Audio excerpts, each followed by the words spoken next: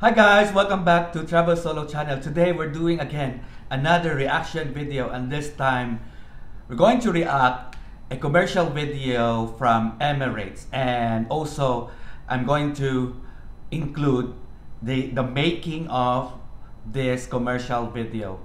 This commercial video entitled We're on Top of the World and I'm so really excited to share with you because the first time I saw it I was really amazed with the way how the uh, commercial video was created.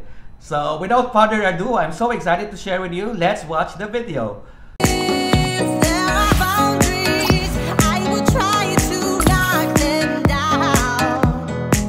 Okay, so let's watch first the making of this video. I'm on top of the Literally, world. you're on top of the world. Even filming on the top of the world, the Burj Khalifa. The Burj Khalifa.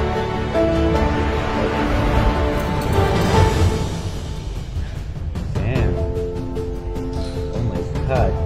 This is so exciting. This is, I love this. I really love this video. That's why I reacted to it because I seldom I seldom uh, react to a video, but this one it catches my attention, and so I decided to share it with you.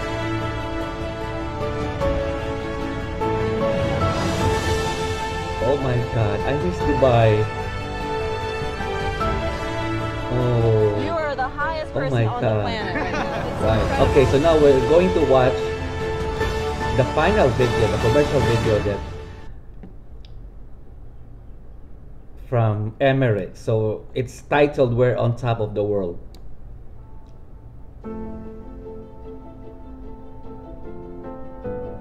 Ah, so they lifted UK. Okay, as part of the Amber List. Okay, now on top of the world. They feel like they're on top of the world. oh my god, fly better. She's so pretty. Oh. Oh my god, literally. Oh. She's even on top of the Burj Khalifa. Oh, that my god, guys. She's on top of the Bu- Burj Khalifa, which is one of the the tallest building in the world. Oh my god, I couldn't imagine how she could able to stand there. you know, I, I, I cannot even stand like oh my god. She's literally on top and with only and standing only in a very small platform that's hilarious.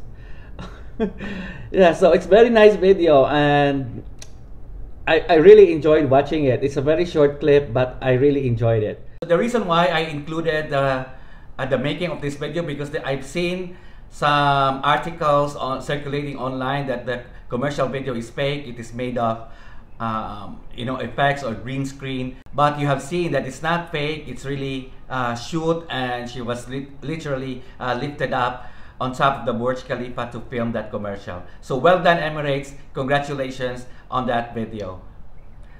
Bye everyone. Until next time